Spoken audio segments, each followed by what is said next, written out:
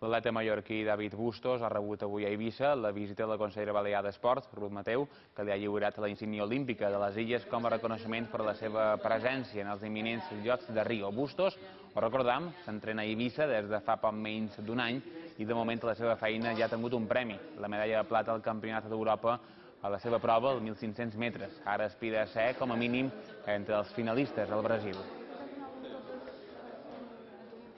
És un, recone un reconeixement que, que s'agraeix i és un plaer poder dur el nom de les illes per, per tot el món perquè bueno, penso que, que és un joc per, per mostrar-ho. Bueno, en el joc de Rio és veritat que bueno, és molt difícil estar a la final però la meva intenció és intentar lluitar per lo màxim, estar ja a la final i després ja tot pot passar però eh, és molt difícil però bueno, estem